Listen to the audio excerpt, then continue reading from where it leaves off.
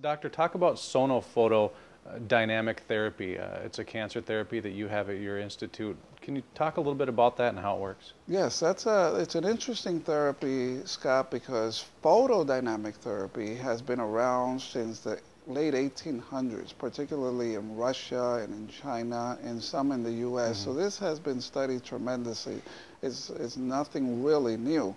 Uh, however, it's uh, approved by the FDA in the U.S. for skin cancers, stomach, and esophagus cancer. Okay. Right. So um, the limitation with light, as in phototherapy, is that it has a short depth of penetration right? So the penetration has a limit of mm-hmm. how light can pass the barrier. So of course for skin cancer it's superficial, so the light will, will affect it. For esophagus or, or stomach, they go in through an endoscopy and do the laser mm-hmm. therapy there. But the gist of it is that um, patients take a sublingual substance, which is a chlorophyll derivative, totally non-toxic, and this is absorbed by cancer cells 70 to 1. So mm. for every one normal cell, 70 cancer cells absorb this. We wait 24 hours to give the cells time to absorb it, and for some unknown reason, normal cells release it. So mm. after 24 hours, this uh, sensitizer uh, is absorbed only within cancer cells.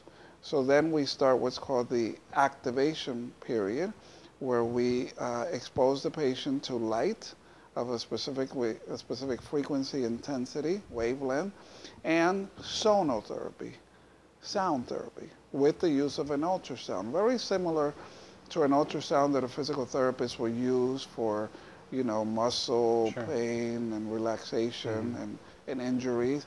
But the importance of this is, of course, that it has to be programmed specifically so those settings, uh, frequency, amplitude of wave, can awaken or activate the sensitizer that was uh, absorbed by cancer cells. And the benefit of having sonotherapy combined with phototherapy is that now, because our bodies are what, 70, 75% water, mm-hmm. uh, we can penetrate sound deep into our body. So we can treat pancreas, we could treat lung, we could treat colon.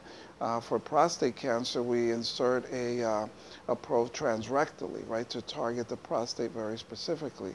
So with sonotherapy, we get to deeper tumors.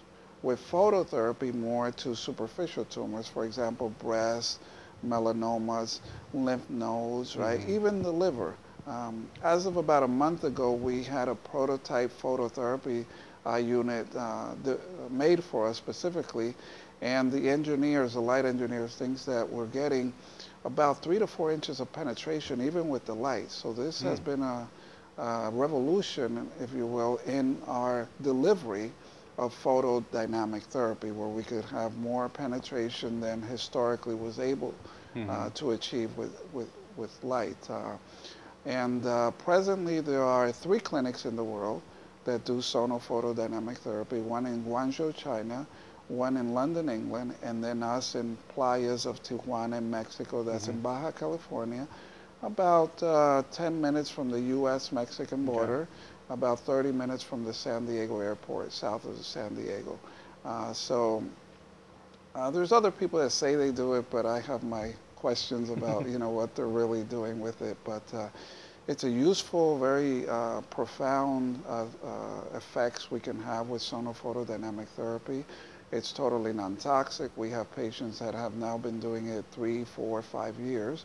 Mm. more now as any, you know, cell that's uh, array in the body somewhere, mm. right? Uh, so it is a systemic therapy. That's the other good thing about it.